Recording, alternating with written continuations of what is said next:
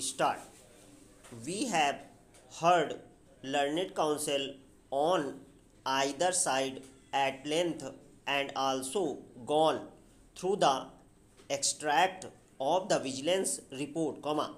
which appears in para 15 of the judgment of the High Court. Stop. The report indicates that 200 candidates were suspected to have obtained answers for the questions three hours before the examination through some middleman, comma, who had arranged answers by accepting huge bribe stop. Apart from the serious allegations of impersonation in respect of 62 candidates, comma, it was stated that on close scrutiny of the answer sheets, comma, at least six candidates had recently certainly adopted unfair means to secure qualifying marks in the written test stop. The report further says that investigation, comma, prima facie, comma, established leakage of question papers for the examination held on 23 11 2003 stop further comma it was also noticed that leakage of question paper was pre-planned and widespread and the possibility of involvement of railway staff and also outsiders could not be ruled out and hence recommended that the matter be referred to the CBI stop. The High Court also referred to the reports of the Superintendent of Police, comma, Hyderabad, comma, which suggested certain measures to be adopted by the board to rule out such malpractices in future stop. The reports of the CBI were not available with the railway board when they took the decision on 4-6-2004 to conduct a retest but also the vigilance report and the complaints were received stop para we are primary concerned with the question whether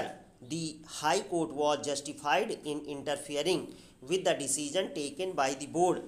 in conducting a retest for those comma who had obtained minimum qualifying marks in the first written test and directing the board to go ahead with the recruitment process on the basis of first written test comma against which there were serious allegations of irregularities and malpractices stop when this matter came up for admission before this court on 21 2006 comma this court permitted the board to declare the result of the second test and proceed to appoint the select candidates stop. However comma it was ordered that the appointments made will be subject to the result of these appeals stop. We are informed that candidates comma who got qualified in the retest comma were already appointed and have joined their services. Stop para. We will first examine whether the high court was justified in directing the board to go ahead with the recruitment process based on the first written test in the wake of the report of the vigilance and the materials collected by the CBI subsequently stopped. The report of the vigilance has prima facie established that the allegations of leakage of question paper comma large scale impersonation of candidates comma mass copying etc was true stop the possibility